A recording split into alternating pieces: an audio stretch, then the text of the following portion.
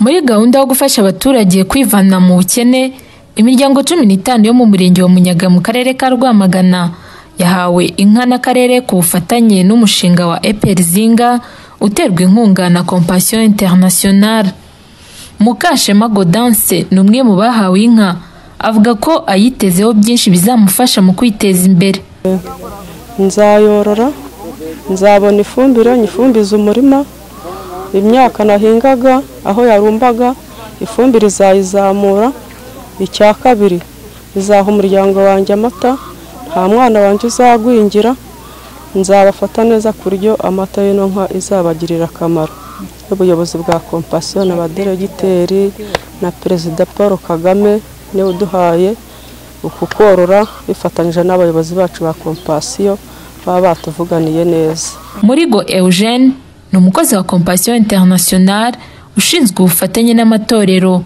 Avuga ko iyi ari gahunda bajyanamo na leta igamije gufasha abaturage kwivana mu bukene kandi bagafasha n'abandi baturanyi babo kubwikuramo. Abantu dufashe bari abakene bagaragaye ku rutonde rw'abakene rwa leta muri gahunda ya graduation. Abo rero nibo twageneye inka twagabiye inka kugira ngo tubafashe kwiyubaka tubafashe kugira ngo babe bava ku ntambwe imwe bajye mu yindi. Icyo twifuza ni uko zibafasha kuva mu bukene. Zibafasha mu bukene bwose bw'ingeri zose.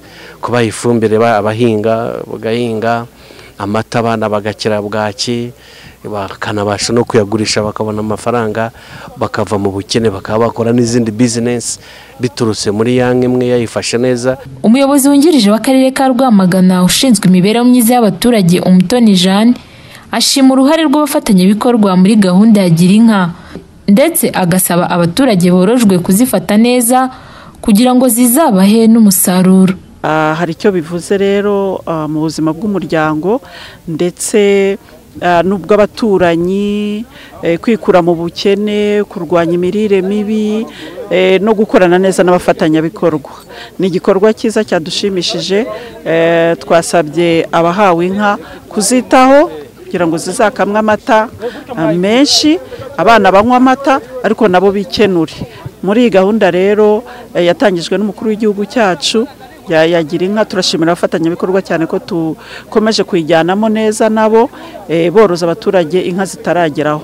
Ni igikorwa rero gikomeje kandi gifite impakiti cyangwa se umusaruro munini ugaragara muri aka karere. Gahunda ya gira inka yatangijwe n'umukuru w'igihugu aho abafatanyabikorwa batandukanye bafasha inzego z'ibanze mu kwesa uyu muhigo. Izatanzwe none mu murenge wa munyaga ni cumi n'eshanu kandi zose zikaba zihaka. Jane wa mwiza mu karere ka rwamagana.